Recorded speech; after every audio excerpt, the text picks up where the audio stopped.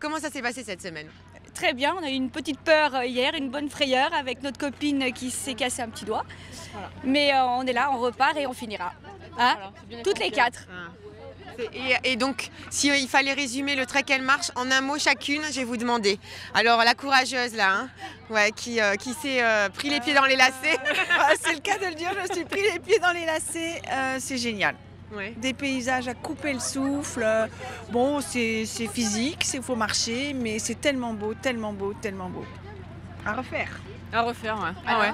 Ben ouais, c'est super. euh, des super paysages, des super filles, euh, une super ambiance. euh, à refaire. Bah, à refaire aussi.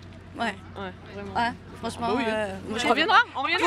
Alors, pourquoi à refaire? Parce qu'à refaire, ok, mais qu'est-ce que Parce qu'est-ce que t'as une- vécu bonne entente, euh, une belle expérience et euh, c'est la première fois qu'on fait, fait en marchant. en comme marchant, ça, euh, voilà. vraiment, et On a toujours fait des raids mais en 4x4 et euh, là, Qu'est-ce qui est différent?